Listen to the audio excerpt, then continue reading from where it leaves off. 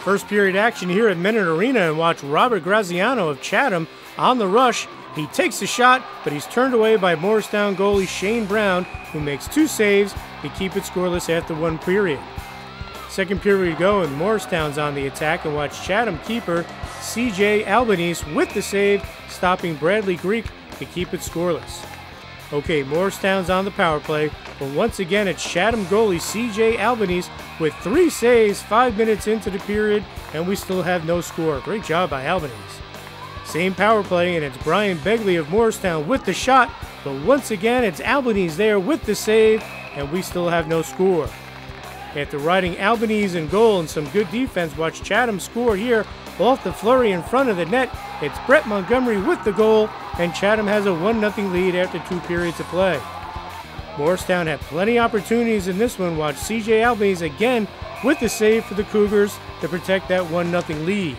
Chatham is on the power play again here in the third period, and it's Robert Graziano from the point before Brett Montgomery deflects it in for his second goal of the game, and it's 2 0 Chatham.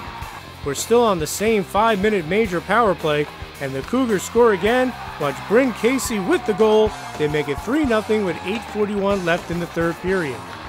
And Robert Graziano makes it the 4 0 final here with this blast to help Chatham blank Morristown as they improve to 4 0 3.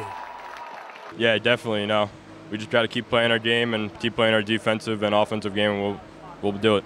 It's great. I mean, it's a great feeling. We have four great captains, so I mean, it's great leadership on the team, and everyone rallies around, and everyone's a leader on the team. We just played our game, hustled, got got the puck deep, got shots from the point, and I was I, I was lucky enough to bury two. It was it was a great team effort all around. It starts with defense for us, and we were able to shut the door on a, on a very good Morristown team tonight. Uh, it was a one nothing game in the third period.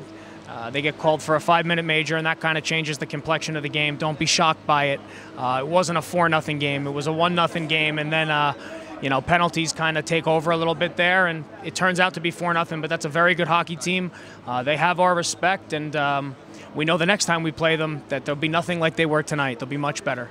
CJ, big game tonight, big shutout, 26 saves. Uh, yeah, you know, our defense in front of me uh, was playing really well.